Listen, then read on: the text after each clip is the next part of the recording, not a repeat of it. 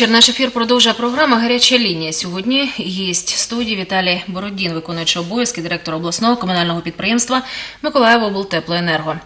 Доброго вечора. Ми раді вітати вас в нашій Добрий студії. Е, Пане Віталій, ну в цьому році Миколаївщина, е, скажімо так, позначилась е, тим, що опалювальний сезон для деяких мешканців Миколаєва щ- так і не почався, ну, поки не почався.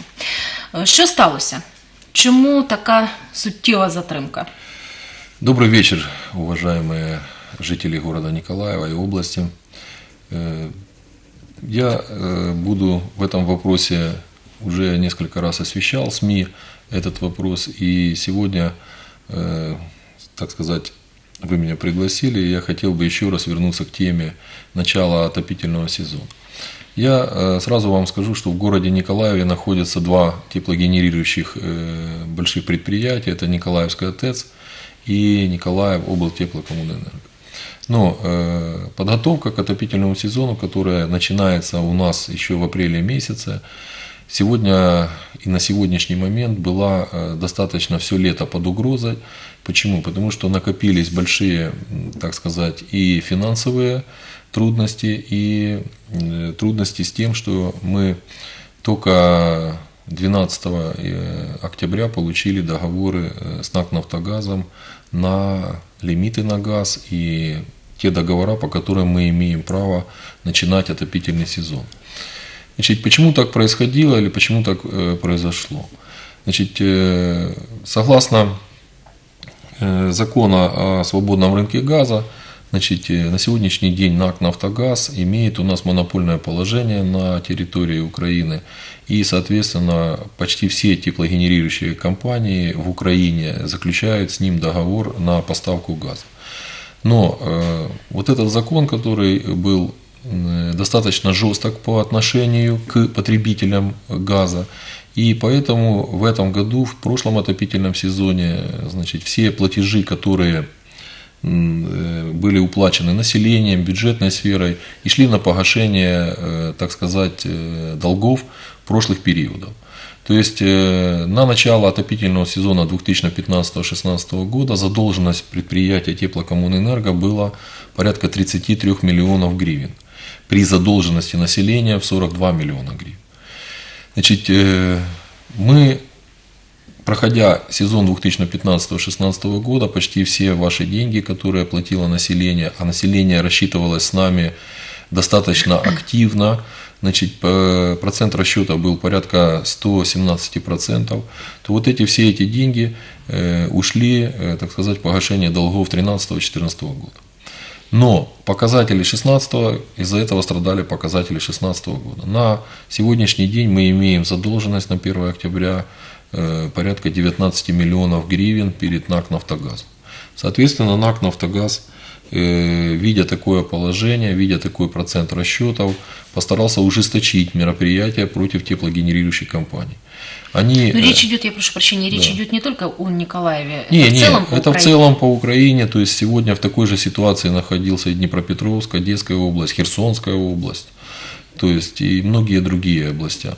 Значит, э, НАК «Нафтогаз», имея вот такую задолженность, не позволял нам ее не реструктуризировать, вот, не гасить ее частями. То есть, э, и получилось, когда мы пришли уже к новому отопительному сезону, то есть он категорически нам отказывал в подписании э, договоров. И только вмешательство нашего э, губернатора, вновь назначенного э, Савченко Алексея Юрьевича, и мэра Сенкевича Александра Федоровича привело к тому, что кабинет министров все-таки, будем так говорить, э, вспомнил о, теплогенери- э, о теплогенерирующих компаниях и буквально на последнем селекторе, там 13 октября, премьер-министр дал поручение срочно отдать НАК «Нафтогазу» все договора до 15 октября. Мы этот договор получили 18 октября. Соответственно, не имея лимитов на газ, не имея договоров, мы не могли подать э, газ на наши котельные, которые должны были начать отопительный сезон еще э, 17 числа. На сегодняшний день все договора подписаны, лимиты на наш э, город, э, на наше предприятие выделены, и мы э, уже начали работу в штатном режиме. Поэтому на сегодняшний день мы в первую очередь подключили все больницы и сады. Сегодня в субботу-воскресенье мы закончили последнее включение котельных. Это котельные на промзоне, котельная НГЗ в Корабельном районе. Вот, вот, и котельные, значит, Знаменская в Широкой Балке, Знаменская 2 и Ульянова, микрорайон Северный. На сегодняшний день мы стопроцентно отапливаем, э, так сказать, и население, и социальную сферу. Но, конечно, при пуске тепла, чтобы вы понимали, даже при хорошо подготовленной работе, хотя э, межотопительный сезон для нашего коллектива прошел очень тяжело, но коллектив до сих, и на сегодняшний день очень сплоченный, и он постарался решить ту техническую часть задачи при пуске, которая нужна при пуске тепла. Значит, Есть еще какой-то технологический процесс э, определенный, так? То, то есть не могут же батареи, наверное, ну я предполагаю, я не знаю наверняка, да. батареи не могут вот в одночасье стать Нет, тут же горячими? Нет, они не, могут, они не могут стать в одночасье. Почему? Потому что все потребители, они как бы категорийные. Есть э, у нас и АСМД, есть у нас и просто жилищно объекты жилищно-коммунальной сферы. То есть здесь мы всегда взаимодействуем с УЖКХ города, вот, есть э, у нас тесный контакт со всеми ЖЭКами, э, со всеми организациями. Соответственно, мы стараемся, когда запускается котельная, потому что котельная должна куда-то девать эту тепловую энергию, мы стараемся, чтобы побыстрее все объекты начинали запускаться. Это есть и техническая часть, э, и технологическая со стороны УЖКХ города. Ну, насколько я понимаю, да, вот эта ситуация, которая сложилась с э, НАК «Нафтогазом», а, договора мы получили авансом, ведь Нет. Же, и, и, то есть существует какой-то долг да. определенный, который вы должны э, выплатить за этот газ. Вы его выплатили или выплачиваете? Как, как Нет, мы его, ситуация? Не, мы его не выплатили. Мы сегодня по постановлению Кабинета министра мы его реструктуризировали на 5 лет Кабинет министров разрешил нам реструктуризировать этот долг. Но опять-таки вот. идет, э, речь идет в целом по Украине. То да, есть то есть не он, одна наша... не, да, он всем компаниям теплогенерирующим дал, э, так сказать, возможность в течение пяти лет погасить эти э, долги, рассчитываясь за тот газ, который уже сегодня пошел на наши котельные, то есть который мы будем использовать уже в этом году. Ну, то есть это дополнительная как бы нагрузка к тому, что мы платим в этом отопительном сезоне. Поэтому ситуация сегодня такая, что мы даже лимиты на газ, чтобы вы понимали, мы получаем каждую декаду. То есть мы подтверждаем каждые 10 дней НАК «Нафтогаз», контролируя расчеты оплат, выделяет... Жесткий контроль. Очень жесткий контроль. Они выделяют, и мы каждые буквально три недели подтверждаем лимиты дальше, дальше, то есть на октябрь. Это всегда было или это ситуация Это вот только вот года? с прошлого года, а, с, с 1 октября прошлого года. То есть вот это и вот это выделение лимитов, еще раз подчеркиваю, оно происходит не на местном уровне, оно происходит э, в городе Киеве. Э, с НАК «Нафтогаза» идет заявка в Укртрансгаз Харьковский, который является транспортером вот. И уже здесь Николаев газ, который владеет распределительными сетями, то есть распределительными сетями газа, говорит нам, у вас есть лимит, мы продолжаем подавать газ на ваши котельные. У вас нет лимита, мы можем в любой момент закрыть э, газ на ваши котельные. Поэтому сегодня я не могу сказать, что угроза э, остановки есть э, котельных и так далее. Но критическая ситуация всегда будет возникать в каком плане? Оплата за газ. Оплата за газ. То есть мы должны четко по выставленным счетам, которые мы выставляем населению, а население должно четко платить, чтобы не замерзнуть ни в январе, ни в феврале. Не в марте. Ну, буквально на днях появилась информация в средствах массовой информации о том, что мэр заявил, что при тех лимитах, которые сейчас вот выделил э, НАК «Нафтогаз», в феврале мы можем оказаться без газа. Если вы говорите, что каждую декаду подтверждаются лимиты, то с чем связано тогда это заявление, как его рассматривать? Это, это связано с тем, э, это связано в первую очередь с тем, что э, то, что я говорю, мы э, на сегодняшний день получили лимиты до 1 ноября. Мы заказываем номинацию или лимит на ноябрь, на каждые 10 дней. И посылая лимиты подтверждения в НАК «Нагатагаз», мы можем или их получить, подтверждение этой номинации, или не получить. Поэтому ситуация у нас всегда возникает в теплогенерирующей отрасли, когда э, достаточно проблемная. После 1 января. Почему? Приостанавливается. Да, э, во-первых, заканчиваются договора э, с бюджетной сферой. То есть бюджетники являются у нас тоже потребителями, и они, у них заканчиваются договора. Пока... Вы заложники ситуации, да, которую, да, в принципе, да. можно было бы, наверное, исправить если на бы, законодательном да, уровне. Если бы отопительный сезон был с, 30, с 1 января по 31 декабря, это было бы немножко как бы проще. А так как у нас сезон переходящий, а бюджетный год у каждого, у бюджетников закрывается 31 декабря, то у нас существует всегда какой-то провал на январь, на февраль месяц. То есть население не так э, сильно идет э, поступление платежей, потому что идет После Новый год и праздники, да, и бюджет немножко отстает э, в плане погашения своих задолженностей. Поэтому существует, но я думаю, что усилиями правительства и, и премьер-министра, и усилиями местных властей у нас такой ситуации, я думаю, не будет. Николаевскую ТЭС вообще тяжело остановить, когда они уже дали газ. А почему? Ну, это вообще это, страте, это стратегический вообще объект, да, который попадает под какую-то, она попадает под нормы, э, которые невозможно ее остановить зимой. То есть, поэтому там газ у них всегда будет. С нами, конечно, немножко проще, потому что все-таки у нас 105 котельных от маленьких до великих. То есть в этом, в, этом разница между да, ТЭЦ и вами? Между, у них, у них э, да, у них очень такое, если они запускаются, то остановить их уже невозможно, машина. да, она большая машина. Мы немножко здесь уязвимы в том плане, что тот же владелец сетей может в любой момент приехать и закрыть задвижки на любой котельной, если нет номинации на газ. А владелец сетей? Владелец газовых сетей на сегодняшний день является Николаев Газ угу. который у нас, э, он является э, владельцем распределительных сетей и получает э, с этого объема газа, который мы платим за газ, даже вы платите, он получает свою там транспортную составляющую 2-3%.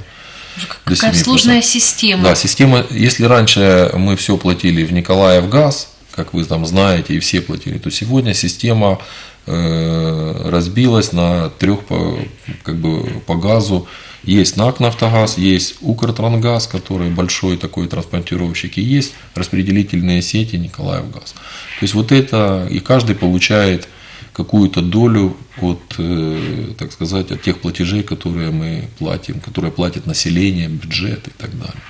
Вот такая сегодня система. Так, так, То есть в тариф заложена еще оплата посредников, по сути. Ну, это не посредники, мы будем говорить. Вы ну, поймите, в кавычках НАК «Нафтогаз» держит газ в хранилищах кто-то же его транспортирует. Раньше все это было в системе в одной, вы поняли, да? Угу. То есть это сегодня НАК Нафтогаз для того, чтобы э, быть э, ну, четким, то есть занимая позицию именно, он же покупает газ за границей. То есть его какая функция? Он покупает и транспортирует, ну, транзитом занимается. А он не хочет общаться там, ну, и э, он этот газ потом дальше передает и Укртрангазу, и Николаев газу, но для транспортировки. Раньше Николаев газ получал весь объем денег за газ. Как он рассчитывался с НАК Нафтогазом, это ж мы тоже не знаем. Может он рассчитывался, может не рассчитывался. То есть сегодня очень жесткая вертикаль финансовая. Это нам ну, такое, такое все существует в Европе. Это европейский подход к этому. Мы, так как идем в Европу, то это европейский подход. Каждый получает деньги за то, чем он конкретно владеет, чем занимается. А вот скажите, пожалуйста, у меня такой вопрос. Если ТЭЦ, как вы говорите, остановить невозможно, а работу ваших котелен ну, если, ну, если вдруг вот какая-то ситуация, чем может э, закончиться остановка во время отопительного сезона? Ну, во время отопительного при минусовых температурах э, может закончиться и разморозка системы. И, то есть, ну, будем говорить, были ну, уже случаи. Алчевск. Да, Алчевск э, это бывало, э, может быть вот такая ситуация при э, больших, достаточно больших минусовых температурах.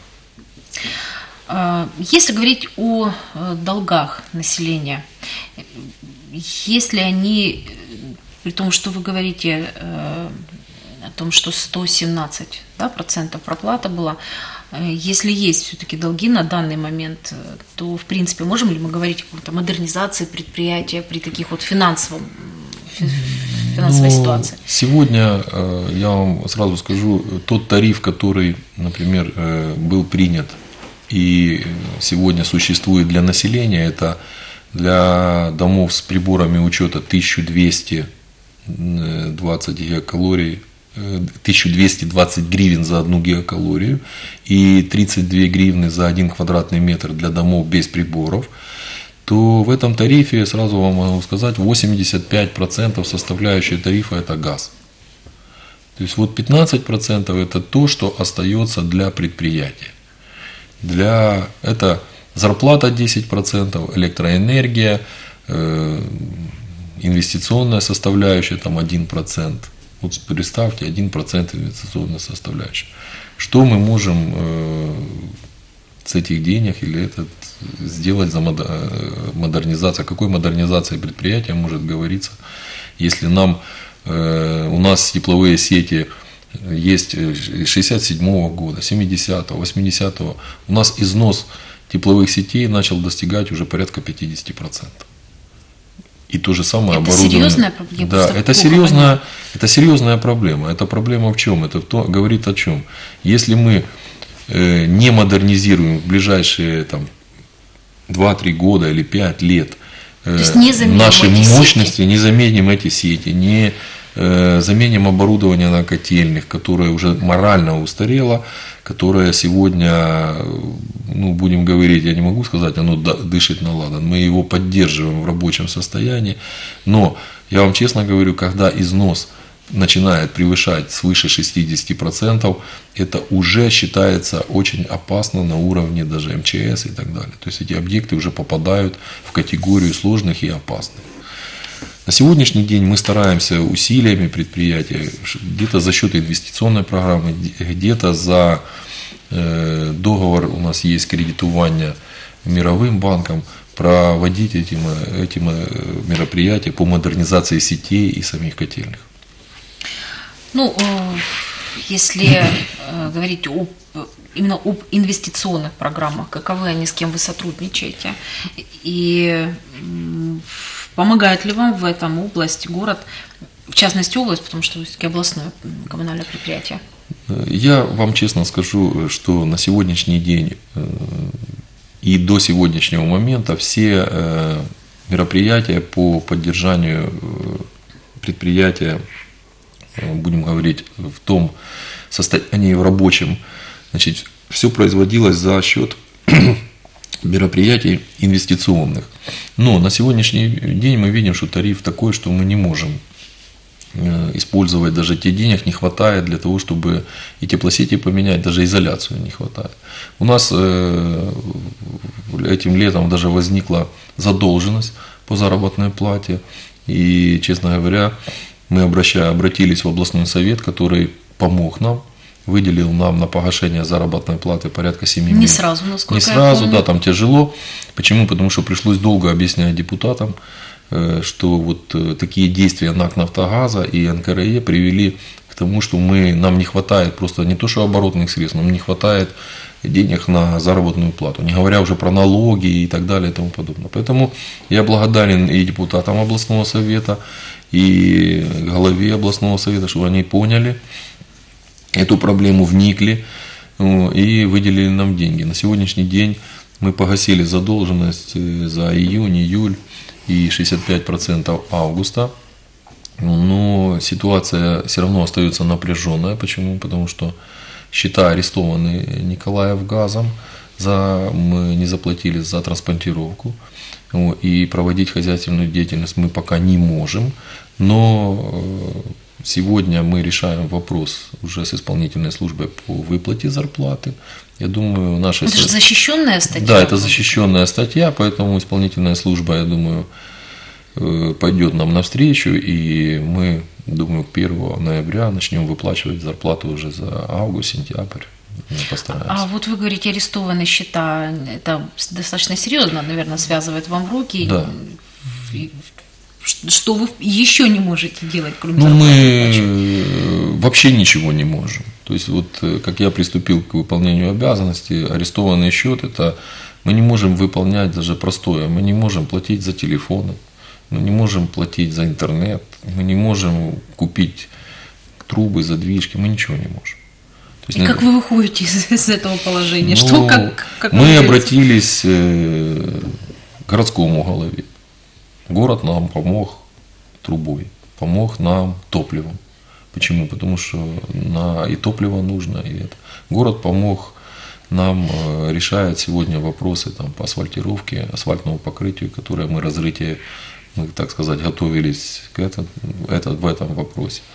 Значит, мы обратились ко многим предприятиям. Я очень благодарен, что многие предприятия э, откликнулись на, так сказать, на наше э, предложение о том, что мы рассчитаемся и э, выделили нам и материалы.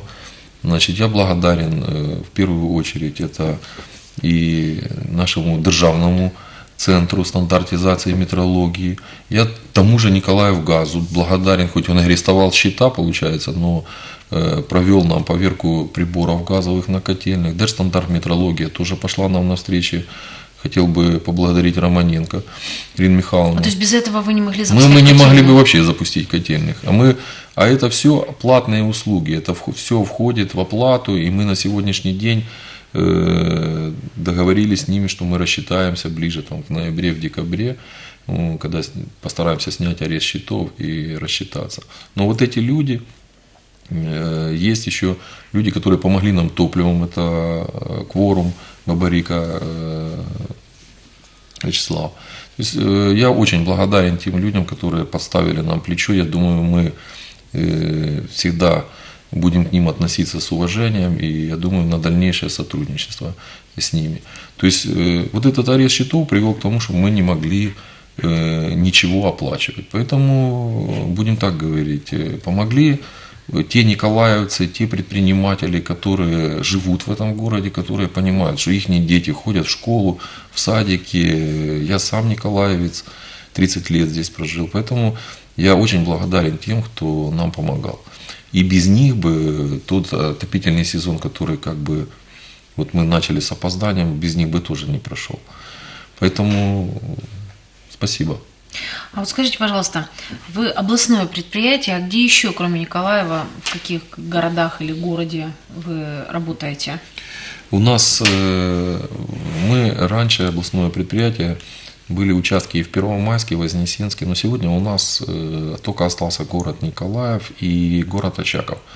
В городе Очаков осталось 4 котельных, но по городу Очакову, как вам сказать, э, ситуация в свое время была пущена на самотек. Значит, э, город пошел по пути отказа от централизованного отопления. Значит, и на сегодняшний день все четыре эти котельные, они э, для нас являются нерентабельными. Почему? Потому что они были запланированы на большой объем потребителей, но сегодня, представьте, котельная мощностью в несколько мегаватт отапливает 5 квартир. Это нам категорически невыгодно.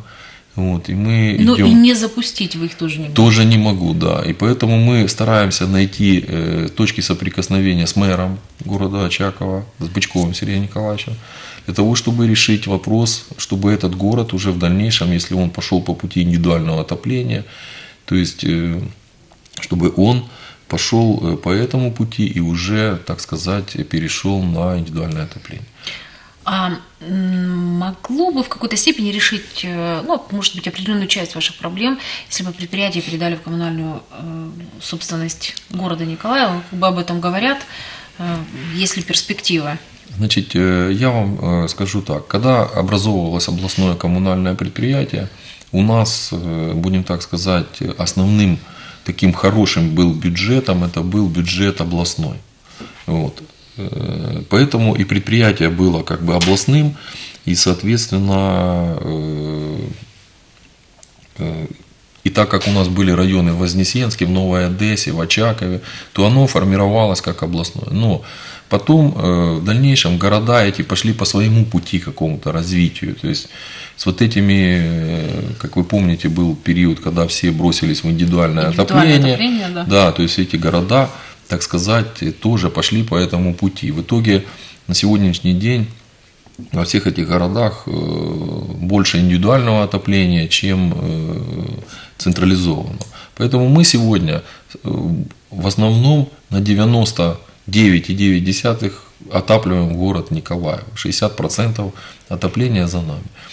Я э, сразу могу сказать, что я являюсь сторонником только централизованного отопления. Я категорический противник индивидуального отопления, потому что я видел города, которые на сегодняшний день э, концентрация смога от работы индивидуального отопления завышает все нормы.